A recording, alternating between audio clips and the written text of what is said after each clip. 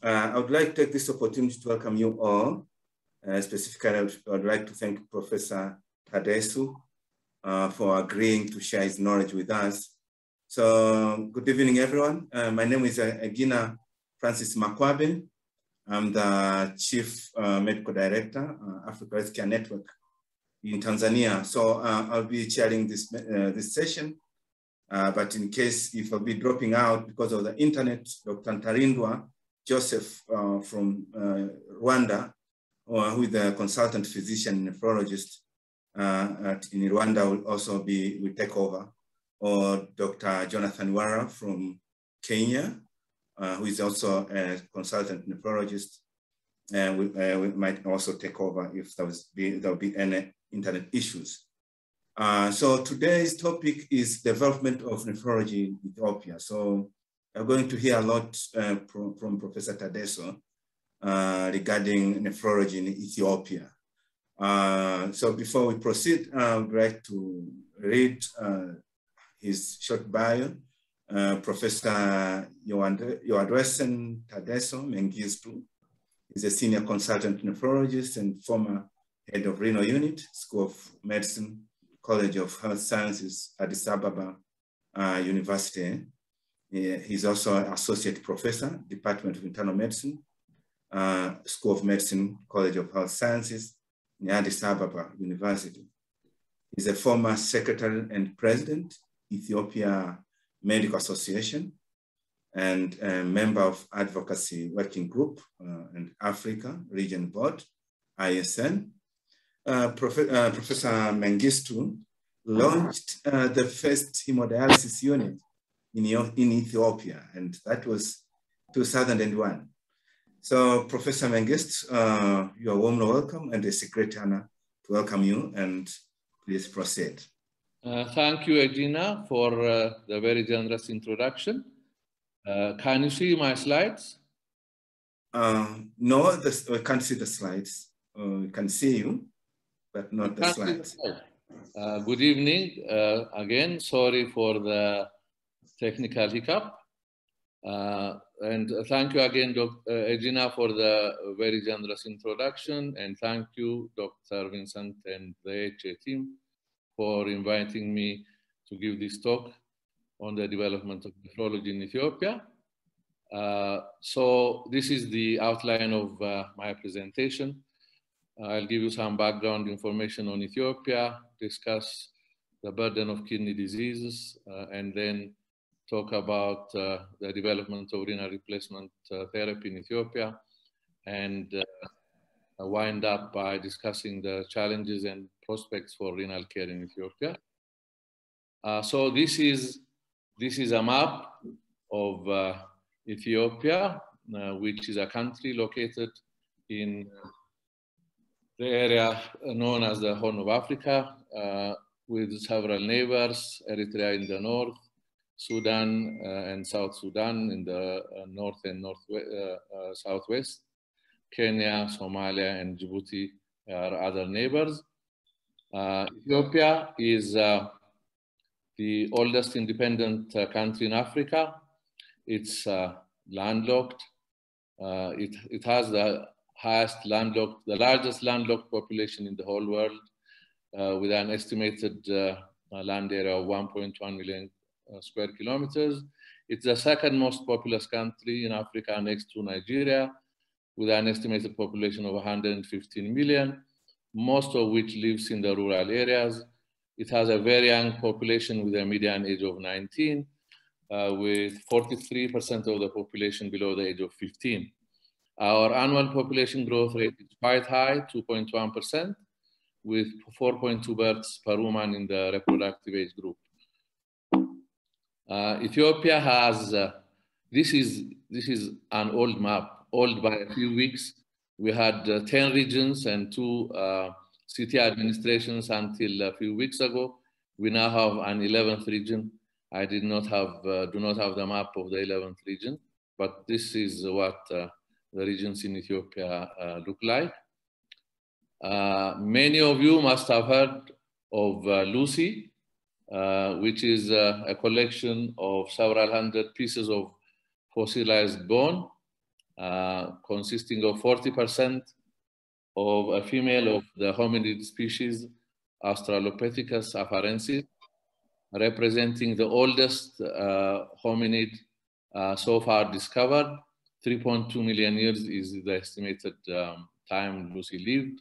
She was uh, thought to be, she's believed to have been a 15 year old uh, female while uh, our ancestors were living on the trees.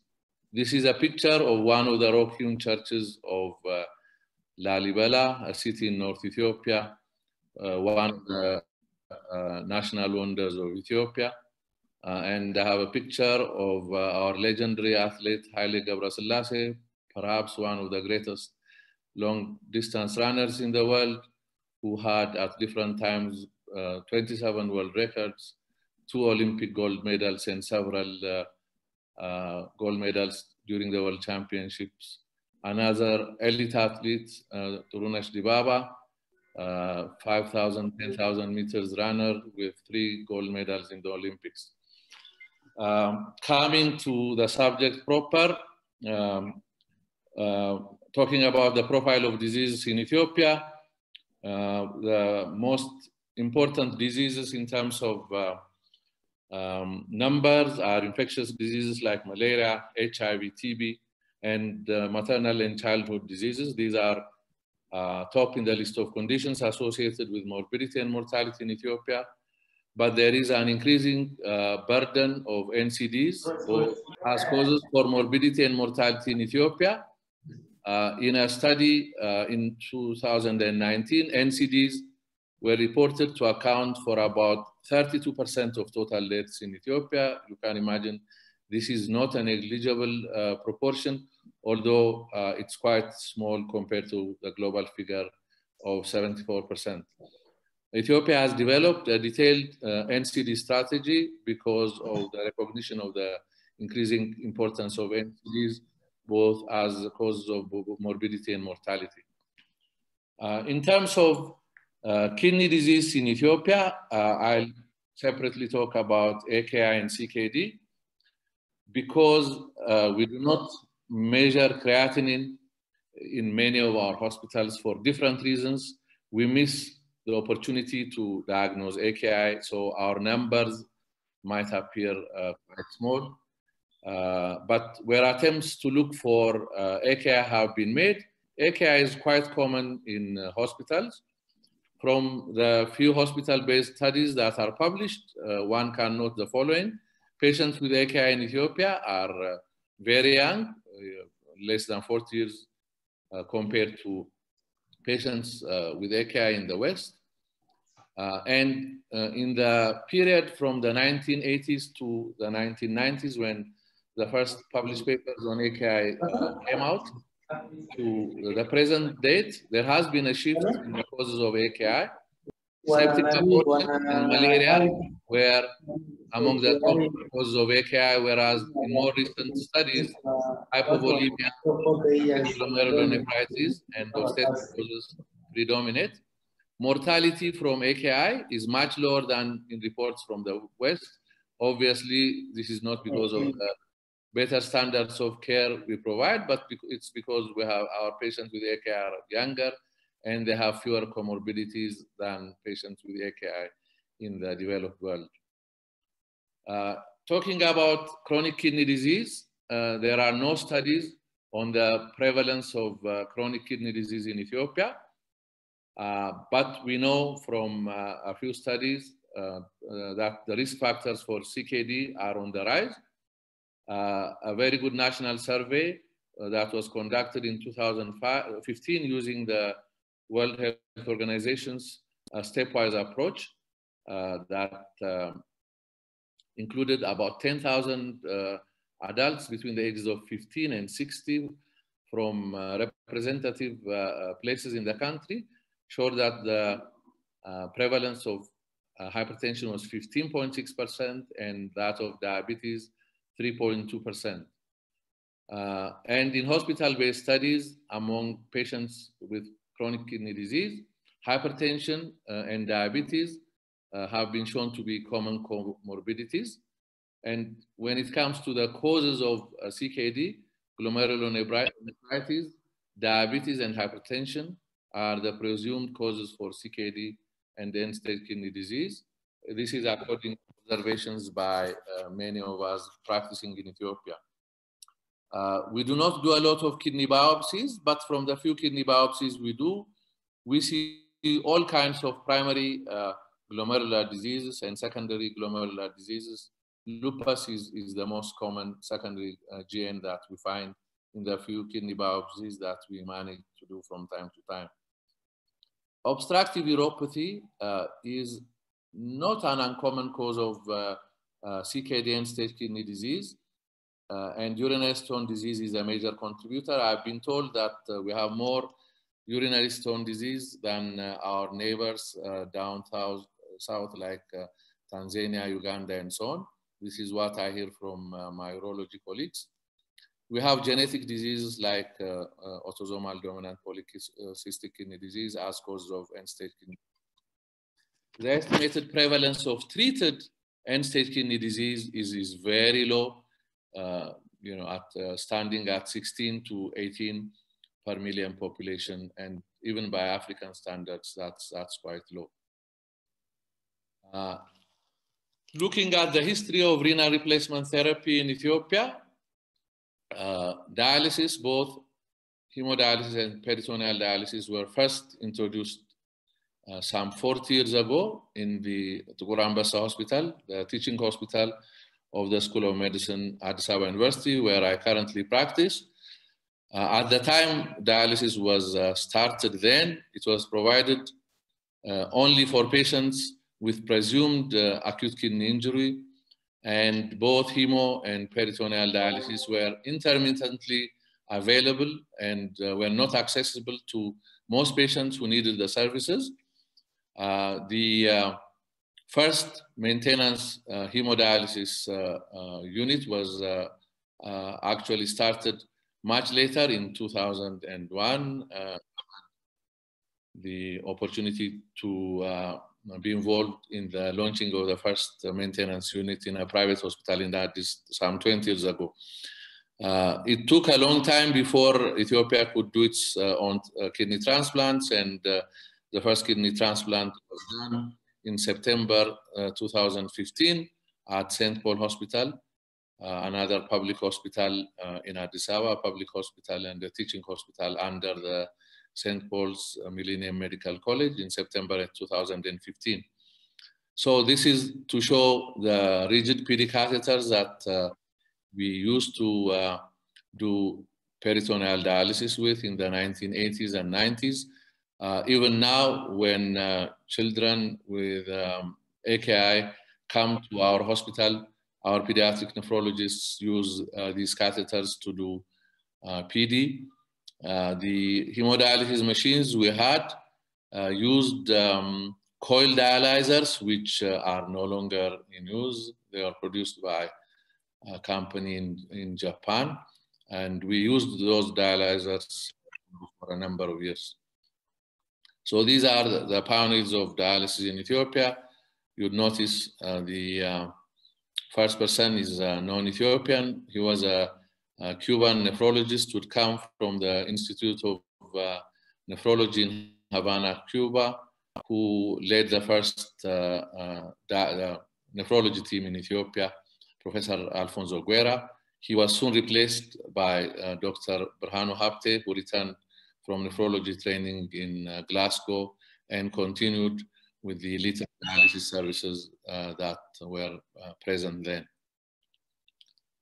Uh, I'll give you some uh, basic uh, information on the current state of dialysis services in Ethiopia. The data was collected just two months ago in September 2021 and, and is therefore very current. This was done together with my colleague, Dr. Adisu Malke. Uh, we were able to uh, collect information from all the dialysis units that were in operation at the time.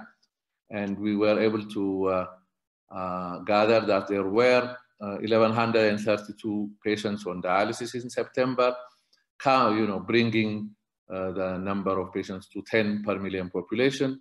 Most patients, as would be expect, expected, uh, were in Addis, giving you a, a, prevalence of 175 per million population. The total number of dialysis units uh, in our survey was 35. Interestingly, the number of dialysis units is increasing by the day. I was talking to uh, a sales representative of one of the dialysis companies this morning, and I was told there are three dialysis units that have just started or are about to start after we did the survey. One has actually started about two weeks ago. Most of these patients are in private for-profit dialysis units. Uh, most are, uh, most of the dialysis units are hospital-based, 31 of them compared to just four uh, freestanding dialysis units. The average cost of hemodialysis per session is $51, uh, but with a, with a uh, wide range from about $40 to uh, about $80 or thereabouts. most patients pay out of pocket and $51 per session is, is very, very expensive to, to even to a, a middle class uh, person in Addis Ababa. Uh, many families uh, face financial catastrophes when a member of the family has to undergo dialysis. the city administration of Addis Ababa has in the last couple of years uh, subsidized dialysis payment for uh, patients dialyzing, in the public hospitals. Uh, we have dialysis nurses delivering dialysis uh, in all the dialysis units. We do not have the category of uh, professionals called uh, dialysis technicians. The typical patient, nurse to patient ratio is one to four. Most of the, the dialysis units, like you know, close to 70%, have um, a nephrologist attending to these patients, although the frequency with which these patients are seen by the nephrologist is variable. If you look at the length of dialysis sessions, interestingly, uh, three quarters uh, of the dialysis units Uh, have length of dialysis uh, about four hours with, uh, with the rest as shown in the uh, uh slide. Uh, a little less than 50% of the patients dialyze three times per week. You have patients who dialyze even once a week, again reflecting practice across, across Africa. and Another interesting finding was the fact that uh, a large proportion of our patients have uh, AV fistulas as uh, their dialysis access, uh, with a uh, sizable population uh, still using temporary catheters. One should not forget the fact that many of these patients pro, start dialysis with a temporary catheter and, and, then, and then shift to the more permanent dialysis access. Uh, currently, there is no access to, to peritoneal dialysis in Ethiopia. So this is a map trying to show the distribution of the hemodialysis units and the prevalence of uh, end-stage kidney disease treated per million population, 175 per million population in the capital Addis Ababa, with a number of um, regions without any dialysis services. This is Afar uh, in the northeast, Benishangul Gumuz, Gambela, these are regions where there is no dialysis service whatsoever. Uh, kidney transplantation, as uh, I indicated a, a, while ago, was uh, first started uh, about six years ago at uh, St. Paul's Hospital in Addis Ababa. This was a, a collaborative uh, program with the University of Michigan from the United States. It was uh, it, and still is an excellent uh, example of north-south collaboration, whereby uh, the team from uh, Michigan came uh, not uh, not just to do the, the, transplants, but it was involved in the training of the transplant surgeons. And at the time, the program came to a halt in March 2020. The local team was just about to completely take over the both the medical and the surgical aspects of kidney transplantation. Uh, I've been told by my colleagues at St. Paul's that a total of 145 living-related transplants were done between uh, the time the program started in September 2015 and March 2020 when uh, it was stopped because of the uh, COVID pandemic.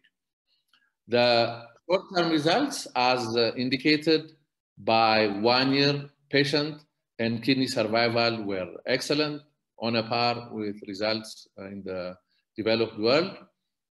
Uh, the government paid for the perioperative costs of uh, all the patients that were transplanted at St. Paul's, uh, but patients had to pay, uh, have to pay out of pocket for their medicines after the first two or three months.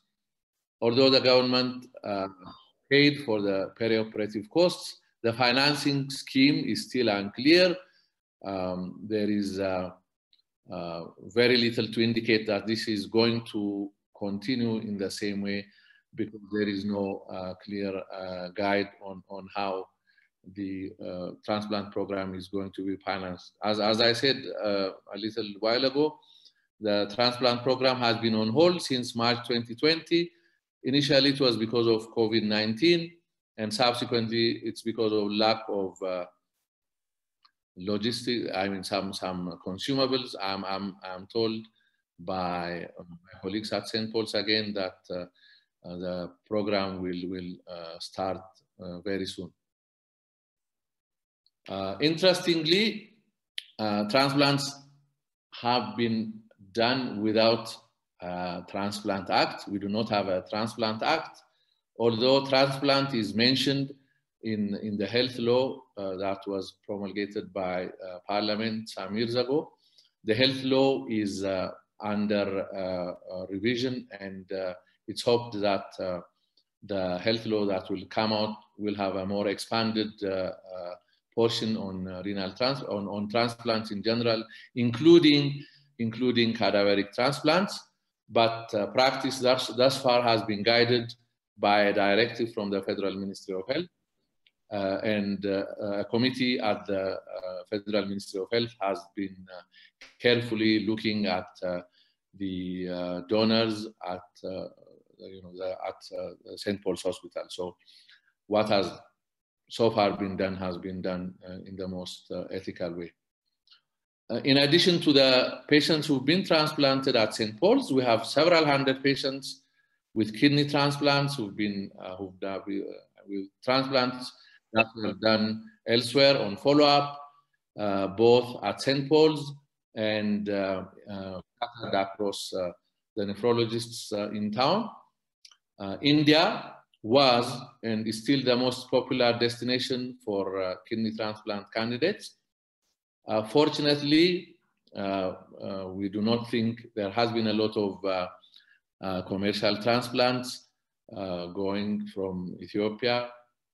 the medical boards that are given the legal rights to send patients abroad uh, make uh, uh, attempts to ensure that the donors that accompany, the potential donors that accompany patients are, are related. So that probably is not a major issue. Turkey is the new entrant. We have now a few patients going to Turkey following the uh, close down of India during the COVID pandemic. In terms of the supply of drugs, um, generic immunosuppressives are available, uh, but the supply situation is always precarious, patients being given um, medicines lasting them for a month or so when they come from uh, you know uh, very far places. Uh, although we've not had interruption in drug supply, the situation has has has remained precarious. So this is Dr.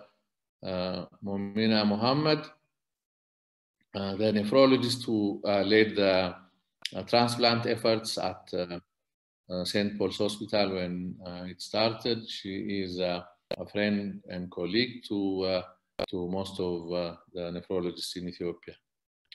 Uh, when it comes to human resource development, the first Ethiopian nephrologist came back from training in the United States in 1971. You may ask me what nephrology was at the time even in the United States. Uh, I do not really know, but he came back from uh, the US uh, after training in Kansas, but unfortunately died uh, from an accident soon afterwards. I do not think he practiced any nephrology to speak of. Uh, then in the years 1978, when the second nephrologist came back from training again from the US, in 1991, a few nephrologists trickled into the country after training abroad, but the numbers remained uh, below 10 until 2011. I think I count as number six or seven in the list of nephrologists in Ethiopia. Uh, it is, uh, I would like you to note that the International Society of Nephrology supported the training of uh, four of the early nephrologists in Ethiopia, myself included. Um, the, development of human resources take, uh, took a, a, a very uh, important turn in 2015 when St. Paul's Millennium Medical College started the first local fellowship program and subsequently um, my School of Medicine uh, the, in the Addis Ababa University started the second uh, uh, fellowship program in nephrology. We presently have 30 nephrologists in Ethiopia, including uh, five pediatric nephrologists. Most of these nephrologists practice nephrology, although there are a few who, who do just uh, uh, general internal medicine. we have 13 trainees presently in the two fellowship programs so if you ask me uh, about the numbers in uh, a year or two, we'll be talking about 40, 50. So that's, that's uh, a great development uh, for, for Ethiopian nephrology. We unfortunately did not, do not have any formal training for dialysis nurses and technicians. We had uh, a dialysis nurses uh, training program in my hospital in the 1980s, 90s, it uh, faded away for uh, uh, different reasons. And St. Paul's Hospital, from my understanding, is planning to launch a dialysis nurses program very soon, and we're very keen for that to start so that our dialysis units are, uh, are staffed by properly trained nurses. Uh, so this is what um, the practice of nephrology looks like in Ethiopia. Uh, I would like to uh, spend a few minutes talking about the challenges of uh, nephrology practice in Ethiopia. Uh, so we have uh, acute kidney injury uh, as a major problem, at least in the hospitals in the urban areas, and that's, that's a major challenge. We have the um, disease like malaria, diarrheal diseases in children, uh, obstetric causes of AKI, including hypertensive disease of pregnancy. And uh, this uh, imposes a burden for uh, our nephrologists. Uh, it's, it is interesting to note that uh, the dialysis programs that are present in the urban areas in Ethiopia, including Addis Ababa, are primarily focused on provision of dialysis to patients with end-stage kidney disease, and uh, it's only a few hospitals that really cater for patients with AKI. I have already mentioned that the risk factors for chronic kidney disease like diabetes and hypertension are on the rise. We have studies to indicate that uh, hypertension had a very low prevalence in uh, Ethiopia uh, you know, less than 5% only 40 years ago. We now have a national prevalence of 15.6% according to the national survey done uh, just five years ago.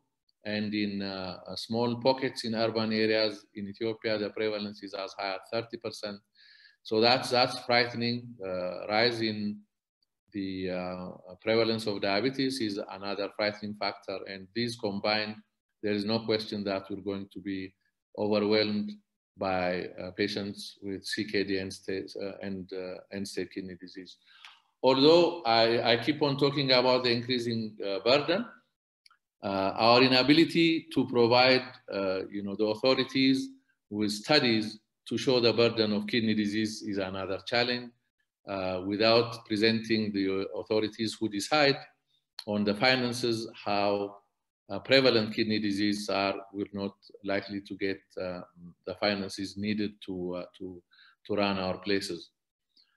Uh, although NCDs are uh, having have, are, are gaining attention increasingly, the absence of a policy and strategy to address the increasing burden of kidney disease, in my opinion, is a challenge. Uh, one cannot uh, uh, discuss the development of services in a policy vacuum, and, and that's a major challenge to us. I have already alluded to the lack of a sustainable financing scheme for renal uh, replace, uh, replacement therapy in Ethiopia. Most patients on uh, dialysis, you know, they, they sell their houses, they have, you know, they, they, they face catastrophic financial burden. It's not unusual for any driver in Addis Ababa to uh, see uh, the relatives of patients begging for uh, money for dialysis in the streets while, while driving in Addis. So, so that's something we have to address. On the positive side, uh, we know we, the fact that the government uh, uh, at the central and regional level through the Federal Ministry of Health and the regional health bureaus is increasing to attention to uh, non-communicable disease is, uh, is, uh, is an encouraging development. We have an NCD policy, an NCD strategy in place, uh, and that's very encouraging. We uh, believe that that will uh, um, you know, help us to develop policy and strategy specific to kidney diseases, and that's a positive development.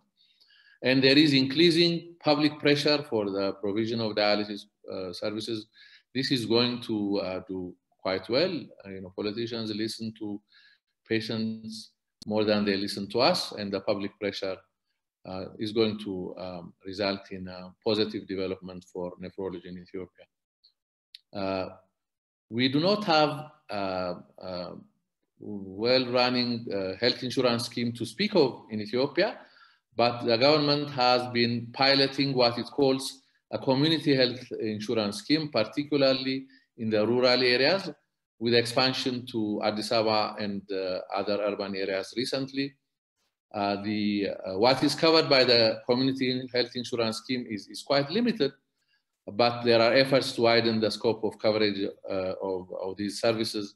And this would hopefully include provision of services to patients with kidney disease, at least treatment of diabetes, hypertension, and, and, and medicines that can slow the, pro the progression of CKD. The growing private sector is, is, a, is a you know, positive development. Uh, the private sector is, uh, this is the private for-profit sector. It's interested not only in uh, dialysis, it's also interested in transplantation. So in a few years, we may have um, private transplant centers, although some of us have some misgivings about that possibility. In any case, that's, that's generally a positive, a positive trend. Uh, the growing number of nephrology professionals from 10 only uh, uh, 10 years ago to 30 plus. Uh, this is going to change the face of nephrology in Ethiopia. Uh, we've been very slow uh, in trying to form a professional society, uh, but we'll hopefully launch uh, the Ethiopian Society of Nephrology sometime in 2022. Uh, and as seen in uh, other parts of Africa, professional societies are, are very helpful in, in um, changes in services. So that's, that's a positive development. And there are early moves to coordinate efforts among patient associations, which have been pushing the government in the direction of dialysis, um, which is not the only thing we want to do. But there are moves to coordinate the efforts among the associations and nephrologists to influence policy and strategy directions of the Federal Ministry of Health. So these are positive developments. I'd like to pay uh, tribute to the pioneers in nephrology in this talk, and this include the first uh, person who came back as a nephrologist uh, to Ethiopia, Dr. Arbasu Tafarra, who unfortunately died without doing a lot of nephrology work. Professor Alfonso Guerra, who did the first uh, hemodialysis and peritoneal dialysis uh, as a leader of the team of nephrologists from the Institute of uh, Nephrology in Havana, Cuba, who introduced dialysis in Ethiopia for the first time, and Dr. Burhan Dalit, Dr. Burhanu Hapte, who uh, came just a year after the start of the dialysis uh, services from uh, uh, Glasgow and taught nephrology and did dialysis in the hospital. Professor Sarala Devi Naicker, whose picture you see here and who gave the lecture in this series last week, uh, was a teacher to some of us, including myself. Uh, uh, she, she is an excellent mentor and role model and has uh, uh, contributed very much to the development of nephrology in Ethiopia by training those of us who are in leadership positions in nephrology in Ethiopia. Before I wind down, in the few minutes that are left, I feel I have an obligation as an Ethiopian to say a few words about uh, the current situation in Ethiopia to an African audience. Uh, as you know, Ethiopia has always been top of the news when it comes to news about Africa. Good news, bad news. Uh, Ethiopia is hailed as the cradle of humankind. I've shown you a picture of uh, uh, Lucy, and we have a lot of archaeological finds findings to indicate that uh, the whole human race is Ethiopian. That's where we started. Ethiopia is among the earliest civilizations in the world. It's the only African country that has never been colonized. So these are good news we've been hearing about Ethiopia. But uh, news from Ethiopia has not always been good. Uh, many people remember the drought and famine of 1973-1974, whereby about 1 million Ethiopians perished from drought in the 20th century. Had a repeat of the same situation in 1984-85. Some of you may remember the uh, artists who uh, sang the song Do They Know It's Christmas uh, back in the 80s again to help uh, fam- uh, victims of drought and famine in Ethiopia. Things appear to change for the better. In the 1990s, 2000s, 2010s, so Ethiopia from about 2000 to 2018, Ethiopia's economy was hailed as the fastest growing economy in Africa. Ethiopia became a darling of the West with a sitting US president in the person of the first black president, President Barack Obama, visiting Ethiopia for the first time in July 2015. And in April 2018, uh, there were democratic reforms in Ethiopia following widespread protests against the incumbent government. And our new prime minister was awarded the Nobel Peace Prize in December 2019. Uh, sadly, however, since uh, November 2020, Ethiopia has been in the news for the wrong reasons.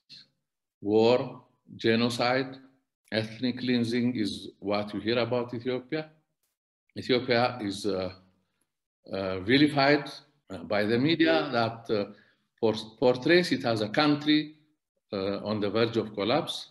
Mm, the situation, however, is different. Uh, through uh, we are in very turbulent times. We are uh, uh, in a state of uh, civil war, uh, a term uh, some of some people do not like, but we are we are in a civil war definitely. But I would like to assure you that Ethiopia is still going strong. As a fellow African tweeted just a week ago, there will be twists and turns lows and highs, but as surely as the sun rises from the east and sets to the west, Ethiopia will come out of this conflict stronger, and with that, uh, set a new momentum of resistance to neocolonialism as it did in the past. Uh, thank you. Uh, I'd be pleased to uh, take questions, obviously not political questions. Thank you. All right. Um, thank you very much, uh, Professor Tadesse. Uh, Yewondwossen Mengistu. Uh, that was excellent talk. And it's a time for questions and answers. And um, maybe I should, uh, should start by asking you some couple of questions, uh, Dr. Tadesse. Um, how is the PD programs uh, in, in Ethiopia?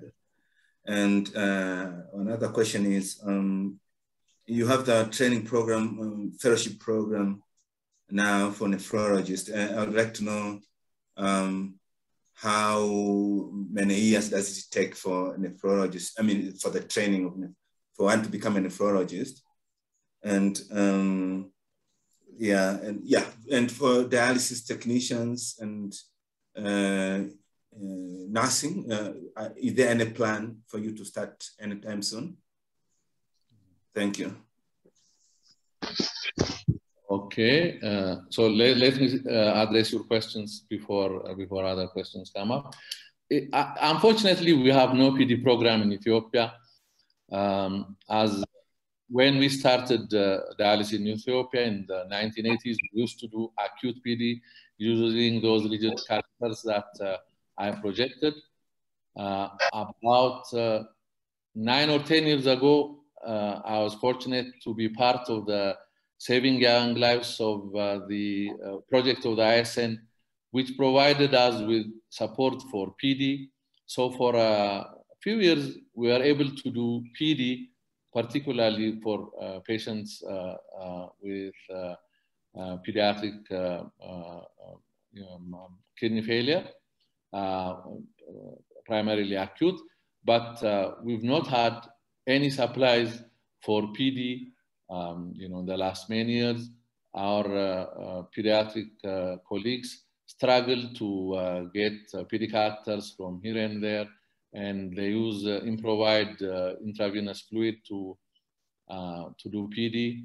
Uh, this is done, as you know, in many other parts of uh, Africa too. But unfortunately, we've not uh, had, uh, uh, we, do not have a, an ongoing PD program. And, you know, because the renal replacement therapy in Ethiopia, as I repeatedly emphasize, is, is, is occurring in a policy vacuum, there is nobody in Ethiopia that's, you know, really focused on doing PD. Some NGOs have, have tried to introduce PD um, um, I've been talking of introducing PD, but you know that has not come to fruition.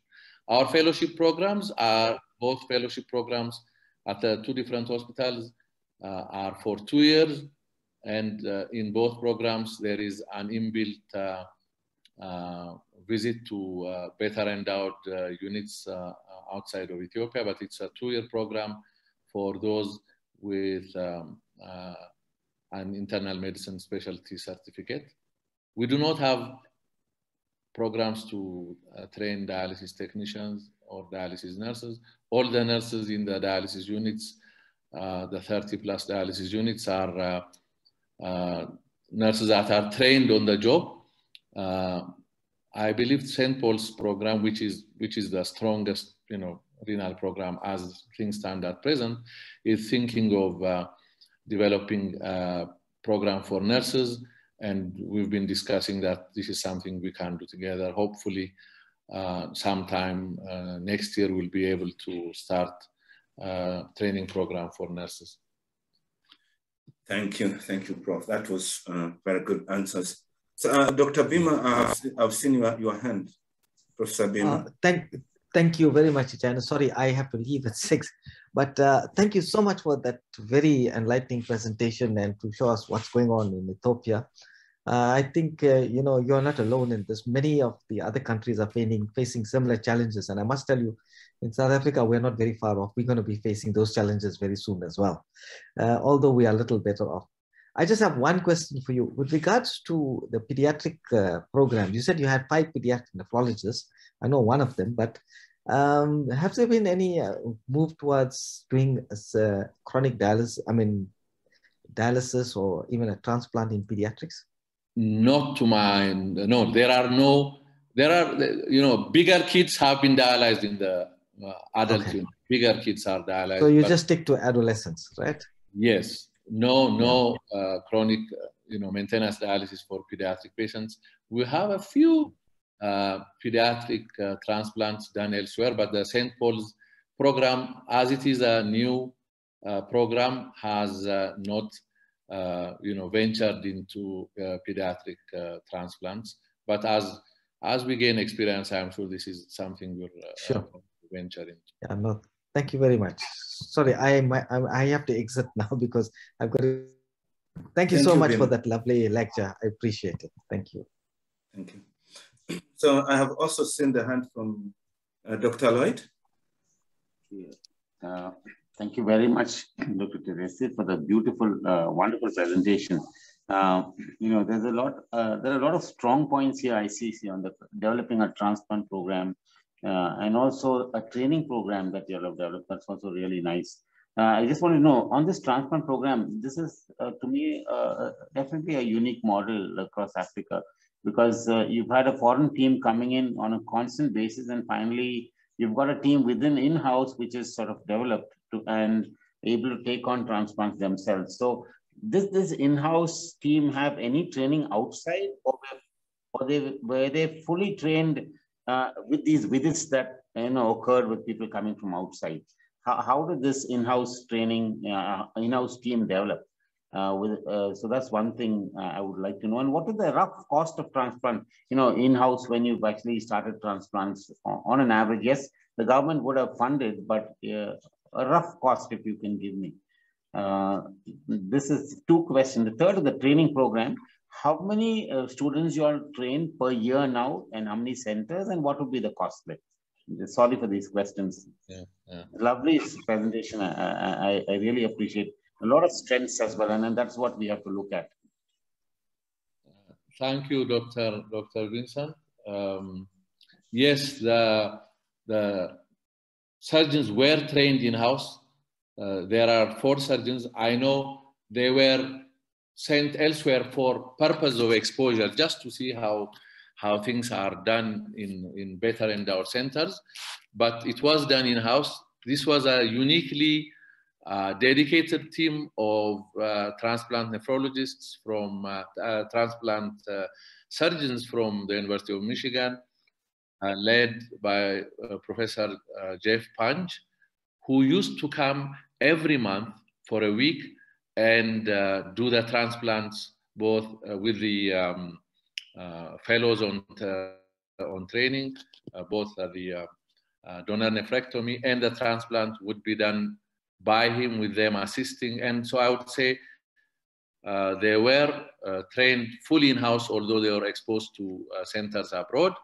And at the time the transplant uh, uh, program stopped, they were uh, they had literally taken taken over. He would be around in theater, but they were doing the surgery. So it was unfortunate that just a few months before he was going to let them loose, uh, the transplant program had because of uh, COVID-19.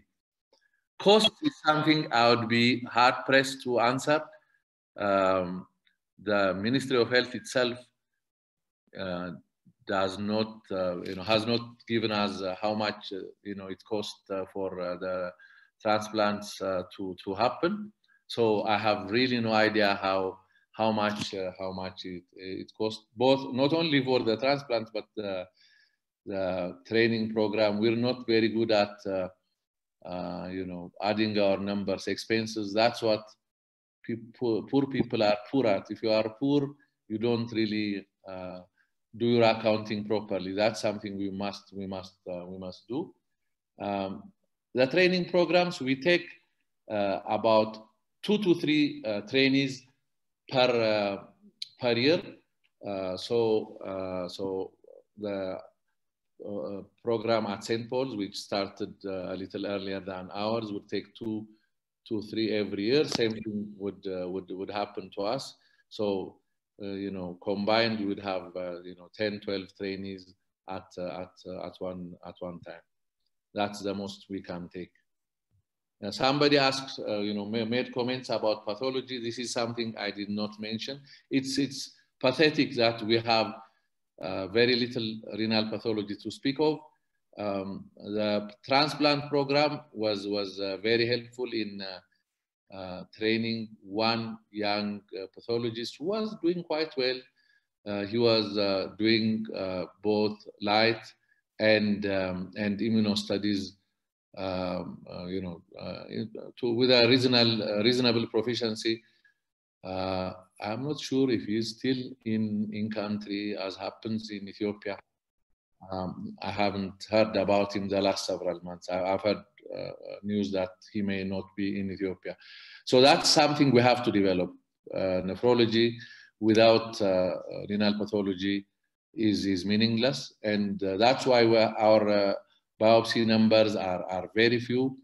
We are forced uh, to send uh, uh, biopsy samples abroad, mostly to India. We get very good you know, results from India, but you know, that cannot replace the development a local pathology program. So that's that's something we must really uh, we must really work on.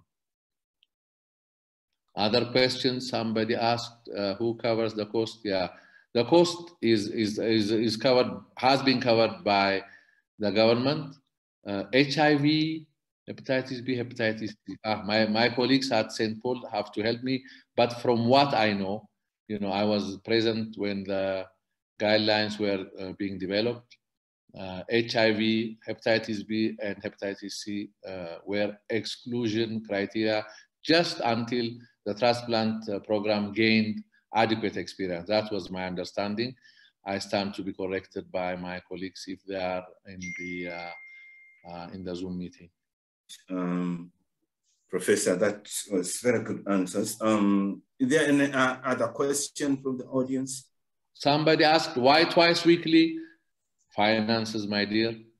I'm, these are patients who beg to pay for dialysis. So it's not because uh, we have, uh, you know, things like incremental dialysis and so on planned. It's just people come the number of times they can afford to pay. That's that's the reason. We'd like most of them would uh, would definitely need uh, three times a week. It's because of finances. All right, I've seen the the hand from Dr. Joseph Ntarindwa, uh, who is uh, from Rwanda. Dr. Joseph. Good afternoon. And good afternoon, uh, Dr. Tadesse. You've done a wonderful presentation when you're talking about Ethiopia. And it's, what's, what, what seems amusing to me is that um, although think almost everybody knows it, is the crown of mankind, but here the genocide that was taking place in Rwanda, they were, they were putting us in the River Nile you know, sending them back to Ethiopia where they came from. It looks like now if there's genocide anywhere in the world, we are asking them to go back to Ethiopia. Yeah, but what's going on today, of course, is I, I know Ethiopia. It's not the first time Ethiopia has gone through this. I'm sure you're going to imagine you've got an, an, a system that is very established over a thousand years, and uh, we are praying for you. You are going to get out of it. Now, um, I'm interested but you know, particularly in the, the fellowship program, by the way, I think uh, uh, Ahmed Momina is, is here in Rwanda, and I think uh, he's brought an idea of uh, training fellows. But I would like to tap your experience. I would like to tap your experience.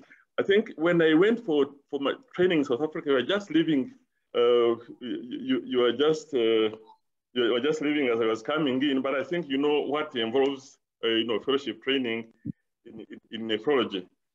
Now, my concern here today, in fact, as we are saying, now we can get started and improve as we go along. But I would like to know how you solve some of these some of the problems already I'm seeing that we are going to face as we start training fellows. Now, we don't have a very established I mean, a peritoneal dialysis program. Uh, of course, uh, transplantation program, we have done a few, but is not continuous. Uh, and the other thing is, uh, you know, renal pathology. I think, you know, you, you know, in, in, in Johannesburg, and Professor Naik, whom we have already mentioned, uh, I, I, let me also mention Professor uh, Stuart Gooch every Wednesday afternoon. you know, looking at those nephrology slides that actually helped me to get started when I came here. Looks like most of the time I was reading the slides with the help of uh, a general pathologist and would come up with some diagnosis uh, to work upon. So now, since you don't seem to have a renal pathology system, you don't have a peritoneal dialysis system, even the transplant system, I, I, maybe I'd like to ask how many do you do in a month? Uh, and, and could this be enough for training fellows? And how, how, how are you going through this? Let me again remind Professor Bimanda, I'm very grateful actually you gave, you gave this so far. Some, when you get started, some of these uh, deficits where we have, you, you, you can also come in and uh, um, uh, I think maybe, uh, Professor, can you tell us how you know you are solving some of these problems as far as yes, training yes. is concerned? Yes, Joseph, uh, you are right. You are can right. I, can, I, say a few words? Can I say a few words? So sorry, okay. so, uh, I'm very sorry. You, uh, Dr. Narendra, I think uh, let me go back to India. In 1989, we had been in the exact same situation in, in the south of India. And in, in 1981, we had no dialysis in the city of Bangalore. Uh, let me tell you, we had no kidney biopsy pathologists till the late 90s. We had uh, transplantation starting in the late 80s. And there was no tissue typing laboratory in the city. We would actually send it outside the city. And this is how we started. But let me tell you today, we have about 100 plus dialysis centers of good quality dialysis in the city, 100 nephrologists in the city. Uh, and, and transplant centers are many.